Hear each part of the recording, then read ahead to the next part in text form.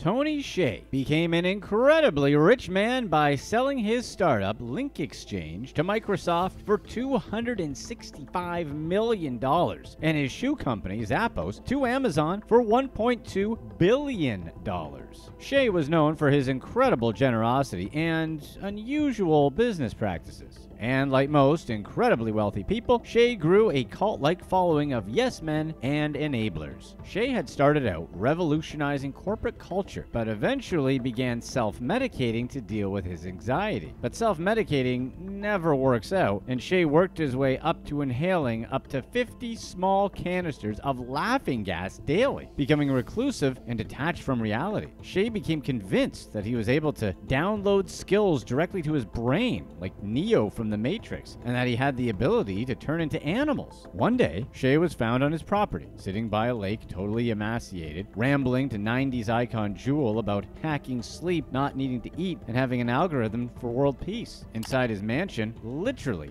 hundreds of candles were burning, with wax and dog feces littering the floor, and clear instructions not to clean up either. Obviously, his friend was concerned. When she finally left, Jewel warned the head of security that if Hsieh passed in a huge fire and took everyone in the house with him, they couldn't say they weren't warned. As the founder of Zappos, Tony Hsieh didn't just sell shoes. He transformed the way people shopped and connected with brands. Zappos' motto, create fun and a little weirdness, perfectly stated the values of the company. The offices were a burst of color, creativity, and whimsy. Leading the charge was Tony Hsieh, the embodiment of a special kind of CEO. With an umbrella twirling in hand, dressed in jeans and a Zappos branded t shirt, he guided visitors through the vibrant workspaces. Under Hsieh's leadership, Zappos' ascent was nothing short of remarkable. Taking the reins soon after its inception, he guided the company from near collapse after the dot com bust to a billion dollar acquisition by Amazon in 2009. Jeff Bezos, in a video message to Zappos employees during the acquisition, praised the company's unique culture and brand, emphasizing his commitment to preserving these invaluable assets. Hsieh's impact extended beyond the confines of Zappos. He envisioned a transformation of downtown Las Vegas into a second Silicon Valley, investing $350 million of his own money to infuse the area with creativity and innovation. He aimed to replicate the strange and alternative culture of Burning Man, a festival he frequented each summer. In 2014, Hsieh embarked on an experiment, implementing what he called a holacracy. This radical management structure aimed to decentralize organizations, empower self managed teams, and eliminate traditional hierarchies. The shift was monumental, replacing bosses with self management and introducing new rules and titles. With a fortune nearing $1 billion, Hsieh spared no expense in ensuring that every Zappos worker felt valued and cherished. The company allocated millions of dollars annually for extravagant parties, family gatherings, and happy hours, all orchestrated by a dedicated team known as the Fungineers. These events transform Las Vegas nightclubs into circus like spectacles or immersive movie replicas, showcasing Hsieh's commitment to fostering an atmosphere of fun and excitement. In 2016, Hsieh's path crossed with that of folk singer Jewel, known for her 90s hits Foolish Games and You Were Meant for Me, who had transformed her tumultuous upbringing into a journey of self discovery and mental health advocacy. Hsieh's connection with Jewel was immediate, leading him to approach her with a unique proposition develop a program at Zappos that would address stress and mental health, preparing employees for the demands of the holacracy system he had introduced. It became apparent that Hsieh's interest in mental health went beyond Zappos' workforce. Jewel's team recognized that Hsieh himself was grappling with issues of social anxiety and stress management. As the pressures of his skyrocketing fame and responsibilities mounted, Hsieh struggled to navigate his own well being. He sought solace in an Italian liqueur, Fernet, drinking it throughout the day. Jewel's collaboration with Hsieh extended beyond the workplace. His participation in the program she developed remained indirect. He sought book recommendations about mental health and engaged in deeper discussions on the topic. However, as Jewel delved into more intensive retreats and workshops aimed at addressing personal struggles, Hsieh's presence dwindled. Hsieh's trajectory during the pandemic was marred by a tragic descent. As he embraced a party centric lifestyle his new mansion in Park City, Utah, it became a haven for a plethora of guests, ranging from actors and artists to government officials. Hsieh's ambitions stretched beyond the ordinary, with a desire to solve world peace driving his interactions. Yet, his wild parties and gatherings also served as a backdrop to his struggle with addiction and deteriorating mental health. These gatherings, characterized by extravagant celebrations, also underscored the widening gap between Hsieh's reputation as a visionary leader and the mounting challenges he faced in his personal life. Hsieh experimented with various illegal substances and pushed his boundaries to the extreme by attempting to forego sleep, oxygen, and even food, resulting in his weight dropping below 100 pounds. The disintegration of his well being was evident to those close to him, with friends noting things were falling apart. As his health faltered, Hsieh's life took on an almost cult like dimension, with him being perceived as both a Howard Hughes like figure and a cult leader. He accumulated properties under the name Pickled Investments, reflecting his lavish lifestyle that included purchasing condos for friends and investing in various businesses, even offering down payments for future meals at local restaurants. Tony Hsieh's personal assistant, Mimi Pham, emerged as a central figure with a controversial role. Pham, often referred to as Hsieh's right hand person, had become an integral part of his world, overseeing crucial aspects of his life. Initially paid a flat rate of $9,000 per month, along with travel expenses, Pham's compensation quickly escalated. By 2020, her pay surged to $30,000 a month, accompanied by a 10% commission on any funds she managed or invested on Hsieh's behalf. This commission spanned an astonishing array of areas, leading to a multi million dollar increase in her income over a single year. Pham's influence extended far beyond financial management. She reportedly engaged in an envious feud with another of Hsieh's associates, Susie Baleson, who was also receiving commissions. To counter this, Pham drafted a peculiar contract stipulating that she would be paid $30,000 for every day Baleson spent on Hsieh's property. Beyond questionable financial dealings, Pham allegedly crossed boundaries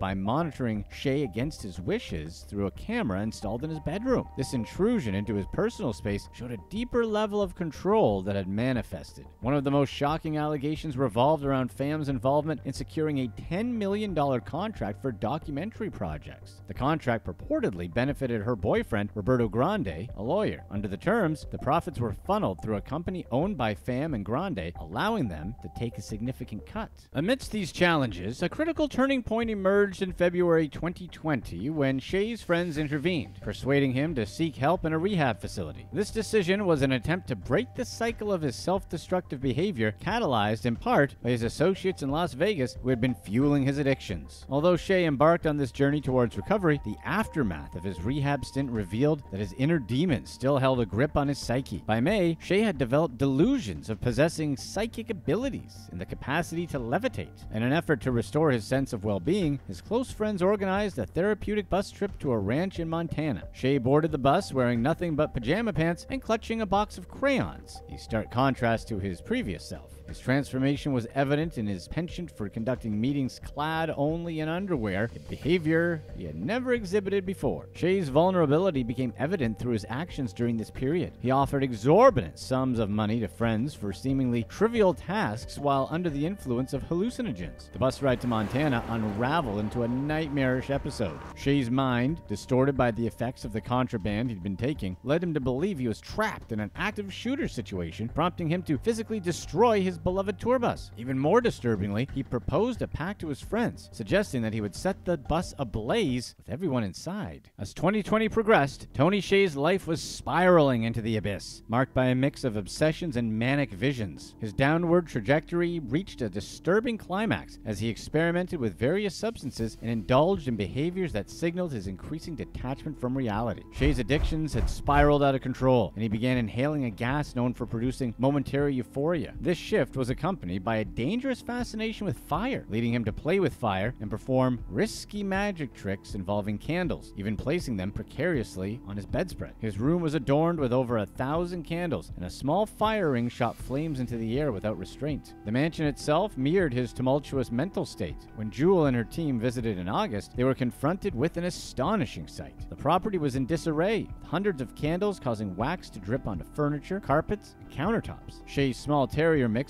Blizzy, had left droppings intertwined with wax throughout the space. Signs explicitly instructed visitors not to clean up, reflecting Hsieh's unconventional philosophy that discarding trash contributed to environmental harm. The mansion was a reflection of his belief in living in harmony with nature, a sentiment reinforced by leaving showers and sinks running constantly to mimic the sounds of waterfalls. Brightly colored sticky notes replaced electronic communication plastered on walls, glass doors, and windows. The property became a microcosm of his struggles, as even basic amenities were reimagined in bizarre ways. A stream that once flowed naturally was rerouted to the patio, repurposed to serve as a so called natural dishwasher. The luxury of electricity gave way to an ethereal landscape of hundreds of candles and tiki torches, a spectacle that triggered concerns among local authorities. The nocturnal ambiance was marked by the constant chime of smoke alarms. In the midst of this surreal reality, the mansion bore witness to incidents that reflected Hsieh's escalating instability. In one episode, Hsieh accidentally cut his foot on glass. Instead of tending to his wound, he chose to walk around the house. This gesture seemed to symbolize his quest for connection, even through pain. As his mental and physical health plummeted, the mansion became a battleground for Hsieh's relationships and finances. The Hsieh family's lawsuit indicated that Pham began asserting control over his assets, claiming he was running out of money and imposing the idea of charging rent at his properties with a 10% commission for herself. Even Hsieh's own brother was locked out of his own house, coerced into paying rent against his wishes. Friends and family intervened, pleading with Pham to take action before it was too late. The Hsieh family's lawsuit alleged that a close friend implored Pham, acknowledging that Tony was on the brink of passing away. However, Pham's response was chilling, a dismissal of his impending fate, viewing him as an adult with the autonomy to make his own choices, regardless of the recklessness they entailed. Jewel's visit exposed the extent of Hsieh's deteriorating mental health. She found him outdoors by a small lake, sitting in a lawn chair with only his boxers on. His skeletal appearance was striking as he sat surrounded by many gas canisters he'd been inhaling. In a moment of urgency, Hsieh revealed a box containing a seemingly random series of numbers, which he claimed was an algorithm for achieving world peace, a manic vision that hinted at his distorted mental state. Hsieh's revelations continued. He declared his intent to start a new country and proclaimed that he had hacked sleep, no longer needing it. Jewel recognized that Hsieh's visions weren't merely eccentric ideas. They were cries for help from someone grappling with a severe mental health crisis. At the mansion, Jewel confronted the troubling atmosphere and those around Hsieh who seemed indifferent to his deteriorating condition. She questioned their purpose and their seeming lack of concern. Despite the deplorable state of the property and Hsieh's obvious distress, most individuals around him treated his behavior as normal, a sentiment possibly encouraged by Hsieh himself. He had told his new employees that he was undergoing a creative metamorphosis and that his sobriety would be the final stage. Jewel's parting words to the property's new head of security revealed the gravity of the situation. She warned that if Hsieh's destructive behavior continued unchecked, it would end in disaster. If you're enjoying this video, be sure to stay tuned right here for our past release to find out how Scott Storch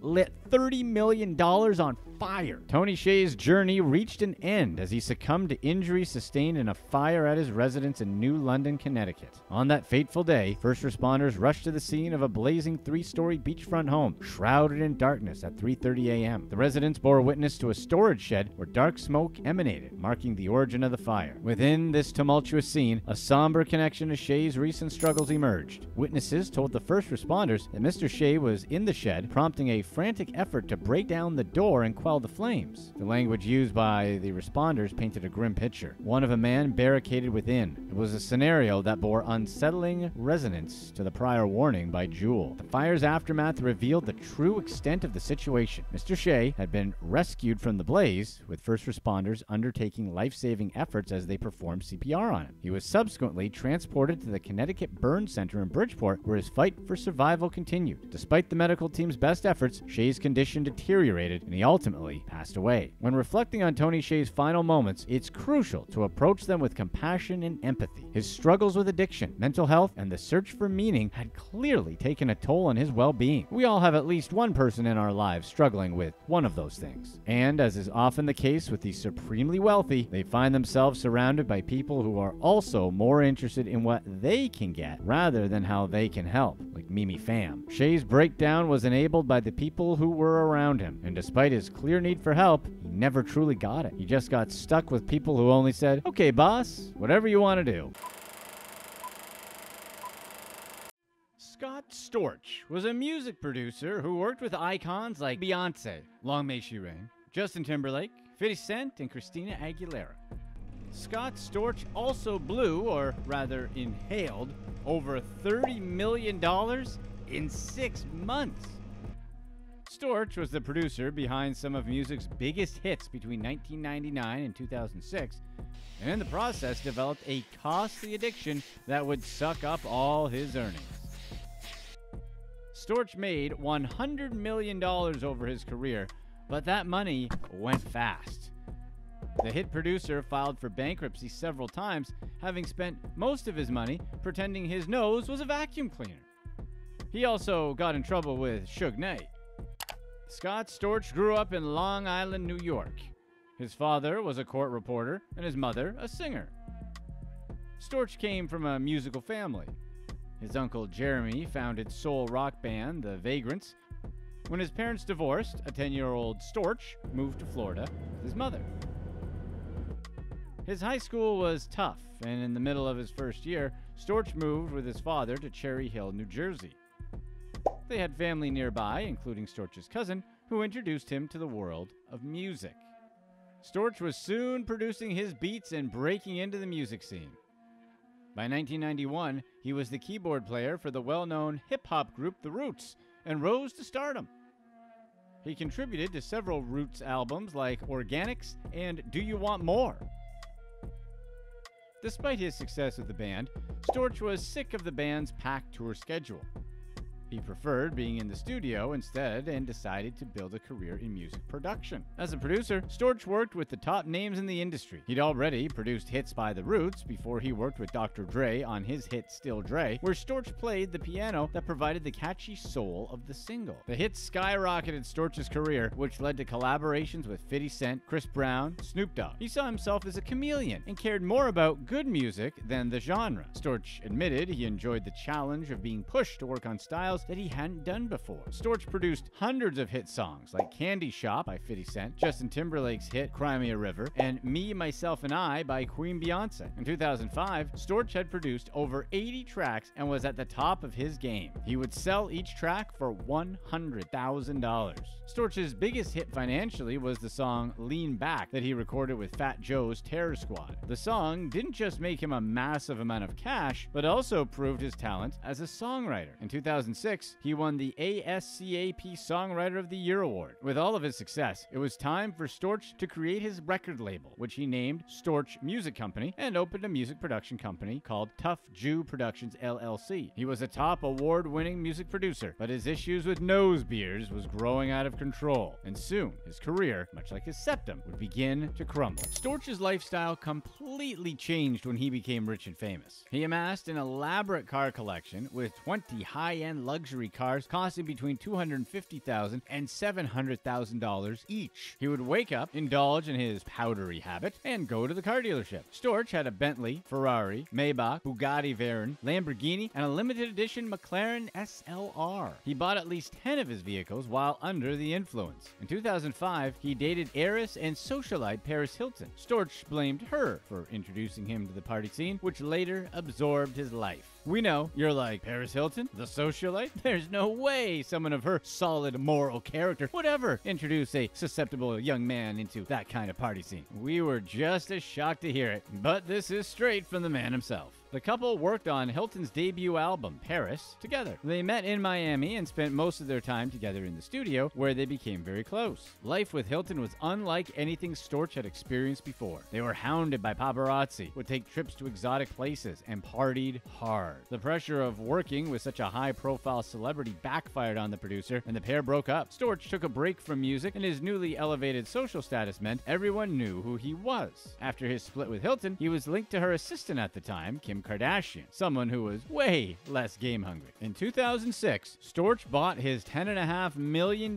mansion on Miami's exclusive Palm Island. It was a waterfront mansion with nine bedrooms, an indoor pool, a movie theater, a fitness center, a spa, and a game room. In total, the property was a whopping 30,000 square feet. He parked his $20 million yacht, which had four bedrooms, in front of his extravagant house. Storch also loved expensive jewelry and owned watches costing $100,000, necklaces, and many more shiny displays of excessive wealth. He treated his girlfriends to millions of dollars of diamonds and wore a $7 million 32 carat canary yellow diamond ring on his left index finger. When he traveled, he preferred to take his private jet and would drop $250,000 each way to bring his entire entourage on vacation to the French Riviera. Storch dropped over $250,000 a month on partying alone. Well, not alone like he was alone because that would be weird, but alone as in just on partying. For Scott Storch, Party Rock was in the house every night and it cost 8 grand. By 2006, Storch's net worth hit $70 million.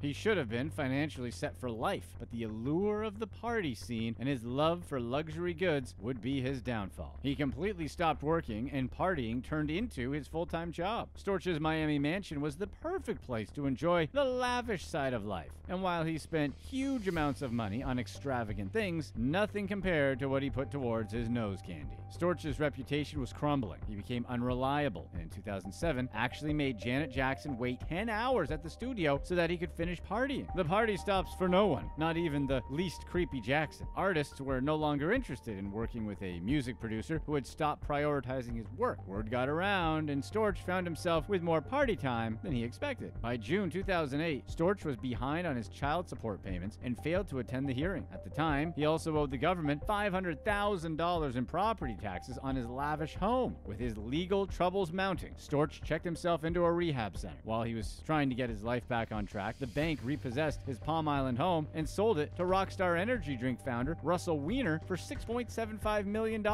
much less than Storch paid. While Storch's income might have slowed down, his spending did not. In 2009, he had blown through his $100 million fortune and had to declare bankruptcy. But the legal problems didn't stop. He leased a 2004 Bentley GT in February 2006, and the terms of the agreement stated he would return it in March 2008. Storch broke the lease term, and the Bentley's owners, the Atlas Leasing Company, claimed his actions cost them $65,000 in revenue. Police arrested Storch in Miami and charged him with grand theft auto, although they later dropped the charges. Aspiring singer Trina Ruberg paid Storch to produce her album. When the time came to start recording, Storch wasn't. Let's just call it awake enough to get the job done. Ruberg had agreed to pay Storch $45,000 to produce six songs for her and paid $30,000 of that money up front. She sued him when he wasn't able to deliver. Storch accused former Death Row Records CEO Suge Knight of bullying him into handing over songwriter royalties for a portion of their worth. Knight, currently serving his 28 year prison sentence, had collaborated with Music Royalty Consulting Inc. for the deal. Knight allegedly coerced Storch into signing over the royalties while under the influence of his favorite powdery substance and made Storch fear for his safety due to Knight's intimidation and threats. According to legal papers, Knight forced Storch to participate in the transaction where Storch received a fraction of his music's worth. Knight dragged Storch to his office to sign the contract despite Storch being unrepresented and under the influence. Additionally, Knight took the majority of the nominal payments Storch received. Knight most likely knew that the hit producer was down on his luck, battling his nose beer problems and financial hardships. At the time, Storch's most valuable assets were the rights to future royalty payments for songs he had previously produced. Storch sold the publisher's share of his royalty rights for $2.3 million to Reservoir Media Management. He wasn't ripped off in the original agreement, as the royalties were worth the same amount. Instead of receiving $2.3 million for his separate songwriter's royalties, he was screwed over. Storch and Knight lived in the same gated community, giving Knight a front row seat to Storch's struggles. He took the producer from his home to the officers of For a meeting. After Storch signed over his writer's royalties, they gave him a $5,000 check, which Knight claimed more than half of. Storch received another check for $58,000, but Knight threatened and intimidated him into surrendering over half of it to Knight again. In total, MRCI paid Storch $429,306.20, but Knight allegedly bullied him out of over half of his earnings. Storch filed a lawsuit against MRCI asking they return the writer's share of his royalties. Sounds like he got off easier than Vanilla Ice, who Knight allegedly dangled over a balcony for similar reasons. Real estate moguls Brad and Seth Cohen learned of Storch's downfall and wanted to help him get back on his feet. The businessmen earned their money through real estate and insurance holdings and signed a million dollar deal with Storch using their own money to fund Storch's comeback. Brad and Seth hoped he would use his connections in the industry and prove himself once again as a hit music producer. As part of the deal, the brothers paid him a weekly salary, provided him with a rental house in Parkland, Florida, and gave him a Rolls Royce Ghost. The terms of their agreement stated that if Storch failed a drug test or showed signs of falling back into his old party habits, they would take away the Rolls Royce. The vehicle was under Scott Cohen's name, and when the Cohens discovered Storch was back to baking but only using flour, they wanted the car back. Scott feared it would be an insurance liability if Storch continued to drive it. The disagreement over the Rolls Royce would lead the Cohens' relationship with Storch to dissolve. By June 2015, Storch filed for bankruptcy again, valuing his music company at zero dollars, and in the filing stating he only earned $10,000 in 2014. The legal papers said he only had $3,600. Storch had $500 worth of clothing and a $3,000 watch. By that point, he only had $100 in cash. Storch worked on rebuilding his life and revamped his public image when he started Storch Labs, joining the Green Rush by entering the marijuana industry. He also started working in music again and was a part of hits by DJ Khaled, Rick Ross, Snoop Dogg, The Game, Chris Brown, French Montana, among others. The scene had changed dramatically since the height of his career. People stopped buying albums in the record store, and few owning physical CDs. Storch was contending with a much more saturated industry, where music was much more accessible but not always good quality. However, Storch knew he could still be a pioneer in creating hit making material. Some of his best known recent projects are DJ Khaled's Every Time We Come Around, Snoop Dogg's Happy Birthday Part 2, Rick Ross's Supreme and Sorry, and The Game's All Eyes. Storch has admitted to his struggles, particularly in 2014 and 2015, when he was in a different headspace. Storch claimed he was on solid ground after no longer flying the powder plane and was taking his music far more seriously now than he had a clear head. Celebrating his sobriety, Storch has worked on new projects with music's top artists and returned to doing what he loves being in the studio and making music. Today, his net worth is $250,000, a fraction of his fortune during the early 2000s, but far more than it was at the time of his 2015 bankruptcy. We hope he lays off the nose jobs. Click to watch one of these next videos. Let us know in the comments section which website you spend the most time online shopping, other than Amazon.